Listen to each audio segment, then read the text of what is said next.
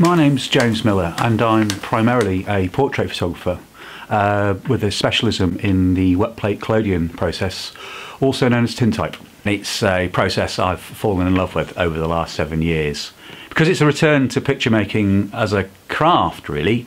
Um, every bit has to be handmade from start to finish, and it's not always it doesn't always work out, and, and there's lots of serendipity and little artifacts which appear in the images. But that's what makes it special for me because each plate is a one-off and can't be re- reproduced.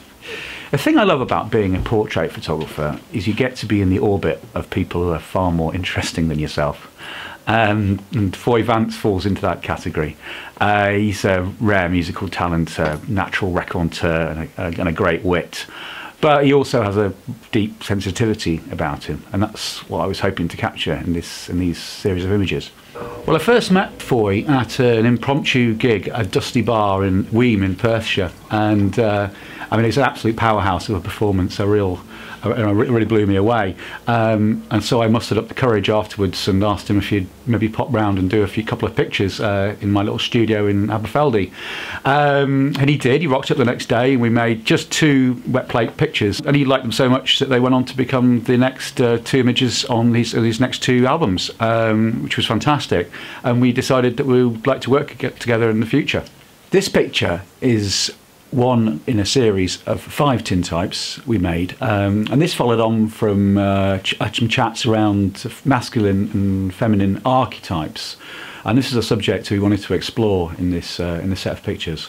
So, firstly, we shot Foy as a pugilist, a prize fighter, like an ultra masculine kind of uh, role, and then um, Heather, my wife, did Foy's makeup, and then halfway through that, we stopped with a with his with a, with a skull cap on, and we came out and shot a picture of him looking more like kind of Rembrandt kind of kind of vibe. Um, then after we'd done his makeup, we moved on to a punky Debbie Harry kind of thing. Uh, and the fourth picture was uh, as as Cristal uh, with with a with, with, a with a sparkly dress on and a blonde wig and a very ultra feminine kind of look. And then, but then we were going to stop there. But the, the, the fifth shot actually was the most interesting. When we took the dress off, it, it occurred to us, wouldn't it be great to go back to that original masculine pose, but with the makeup on? And when that image emerged in the fixing bath, it was both terrifying and kind of delicate, um, a bit like a Sherman tank with lipstick and eyeliner. Um, and it was just that shot which was just kind of really arresting and just just just just the kind of yeah, that, that, that had to be the picture.